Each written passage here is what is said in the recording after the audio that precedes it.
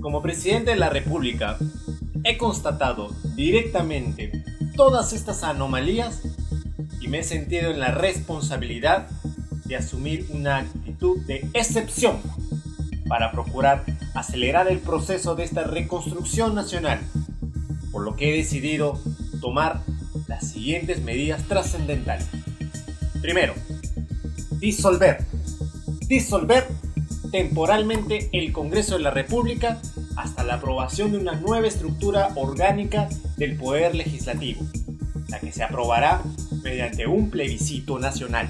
Segundo, reorganizar totalmente el Poder Judicial, el Consejo Nacional de la Magistratura, bla bla bla, y el Ministerio bla bla bla para una honesta y eficiente administración de justicia. ¡Ah! Floro. ¿Pueden creer lo que acabo de decir? Lo que han escuchado es parte del discurso que emitió el, el expresidente Alberto Fujimori la noche del 5 de abril de 1992. El motivo, destrabar lo que a su parecer existía, la obstrucción del Congreso de la República a las medidas de recuperación económica y el plan de lucha contra el terrorismo. Esto se lo voy a explicar de manera sencilla y paso a paso lo que ocurrió. Este chinito intentó vendernos la idea de que sacó al Perú de la crisis económica, crisis que nos había dejado este gordito y su baile de teteo. Cuando en realidad la crisis económica empezó a solucionarse por la presión económica y las condiciones que había establecido el Fondo Monetario Internacional y el Banco Mundial al Perú, por el llamado Consenso de Washington y su plan de recuperación. Las consecuencias, cambio de la moneda del INTI al nuevo sol, la privatización de las empresas estatales, despidos masivos, compras de armas de segunda el chantaje político y financiar la campaña de reelección de Fujimori. Todo esto sin fiscalización. Claro, ¿qué Congreso lo iba a hacer si ya lo había disuelto? Y en su lugar puso a la mayoría de su partido. En segundo lugar, ¿fue realmente Fujimori quien acabó con el terrorismo? Dar respuesta a esta pregunta es como querer demostrar y vender la idea como novedosa que Clark Kent es en realidad Superman. Lo más alucinante de todo esto es que la captura del máximo líder terrorista se pudo dar en 1990 y no en septiembre del 92 como realmente ocurrió a cargo del Grupo Especial de Inteligencia, el GI. ¿Y por qué no se hizo antes? Todo fue parte del plan del chinito y su asesor para poder organizar la red de corrupción más grande de la historia del Perú y perpetuar su poder por muchos años. Pero esto será materia para un siguiente video.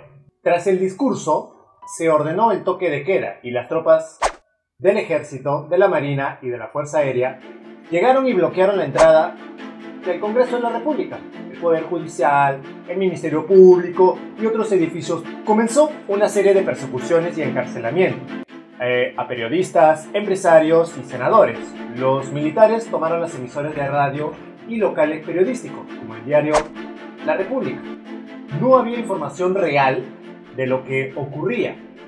La población permanecía ignorante del momento. Finalmente, la cereza del pastelazo fue dejarnos la Constitución de 1993.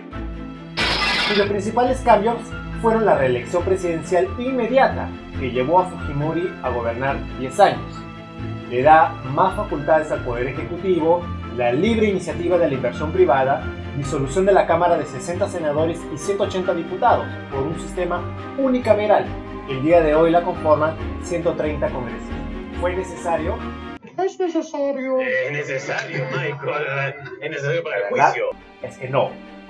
El autogolpe no tuvo nada que ver con la lucha antiterrorista, ni con la recuperación económica, sino que todo correspondía al Consejo del Diablito.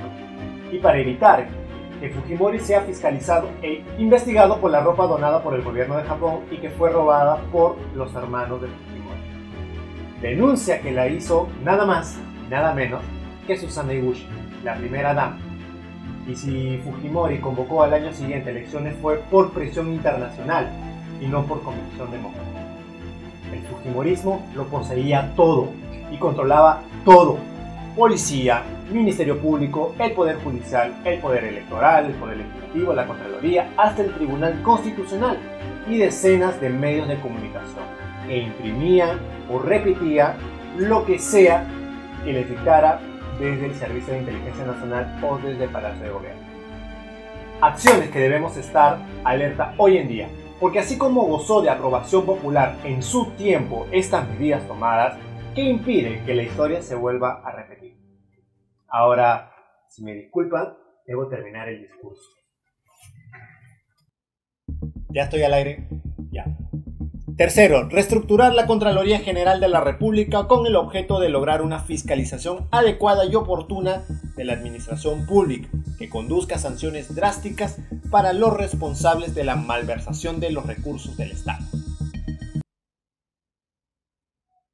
Reitero que como ciudadano elegido por la grande mayoría nacionales, solo me anima el deseo de lograr la prosperidad y la grandeza de la nación peruana y ello solo será posible a través de una profunda transformación del Estado y sus instituciones, para que éstas se constituyan en verdaderos motores del desarrollo y la justicia social.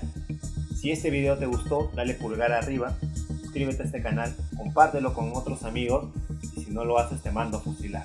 Y nos vemos en una próxima gaveta de historias. ¡Corte!